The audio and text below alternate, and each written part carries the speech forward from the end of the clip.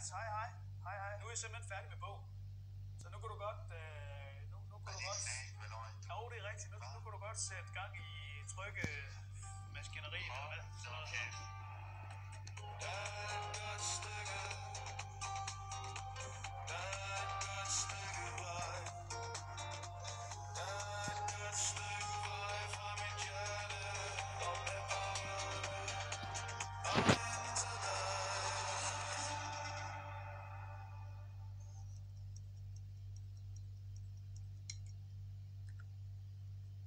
Kan du mærke, hvordan det fløj afsted de 30 minutter der?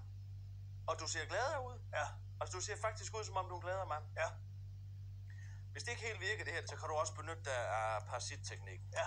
Øhm, det er faktisk enormt effektivt. Du kender de her økonomiske svindlere, som får folks øh, bankoplysninger, ikke? Og så tager de bare lige 5-10 kroner. Lidt for hver, ja. Lidt for hver. Ja, Det er ikke ja, rigtig ja. nogen, der opdager, der mangler noget, men de bliver meget rige af det, ikke? Jo. Sådan gør Søren Rarsted faktisk med glæde. Altså, Rasted. Ja, øh, ikke ham med, med, med stikhåret, men ham den anden. Ja. Og ikke ham den skaldede, men ham den er tredje. Ja. Læg mærke til, hvor glad han er. Ja. Han er frygtelig glad. Og det han gør, det er faktisk, når han er i store forsamlinger, så tager han lidt af folks glæde rundt omkring. Nå. Sådan samlet set er det ikke nogen, der opdager det. De er måske sådan lidt mere ked af det, end da de kom.